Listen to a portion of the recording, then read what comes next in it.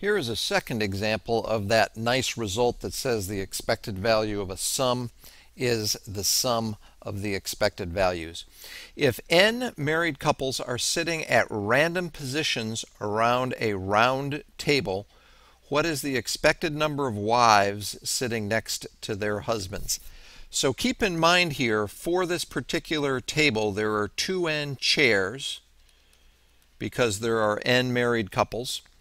And let's go ahead and start this problem out by defining a random variable x sub i, which will be a 0 if wife i is apart, sitting apart from husband i,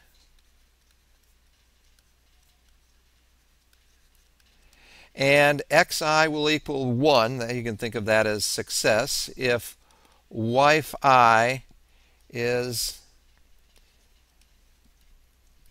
next to husband I. And that will be defined for I equals 1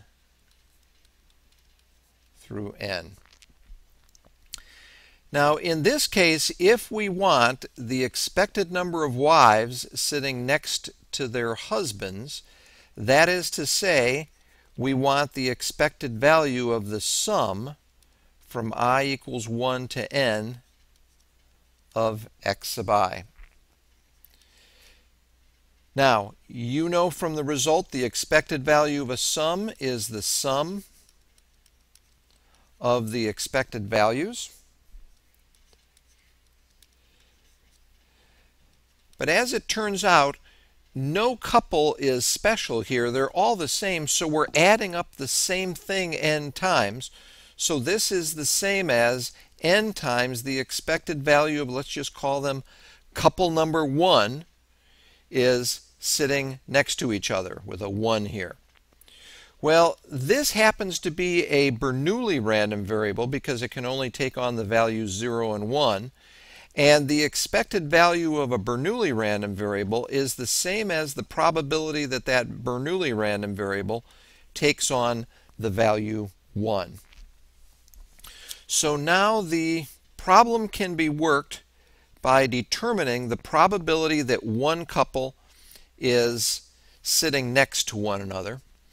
And so let's go ahead and we could put the wife in a chair or the husband in the chair. Let's just put the husb husband in one of these two n chairs. Well, if that is the case, then the wife has two n minus 1 chairs to choose from. And of those two n minus 1 chairs, two of them, namely the chair to the left of the husband or the chair to the right of the husband, correspond to sitting next to the husband, that is the probability x1 equals 1. So what we get for this particular probability is 2n divided by 2n minus 1. Now, a couple notes on this result. First of all, this is only good for n values which are greater than or equal to 2. And because the, the reason that is, is if we look at the case of n is equal to 1, well, in the case of n equals 1, if you plug in here, you will get 2 divided by 1, and 2 divided by 1 is 2. And if you just have one couple, the number of wives sitting next to their husband has to be 1 not two. So this one falls apart in the case of a single couple because you simply have the husband and wife sitting on opposite sides of a round table, and of course, they are next to each other in that case.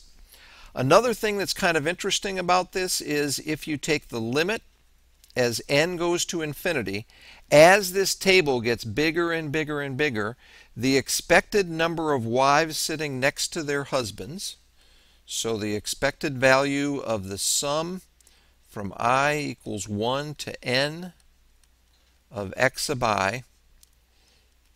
In the limit, this expression right here goes to 1. So as that table gets larger and larger, the expected number of couples sitting adjacent to one another is equal to 1.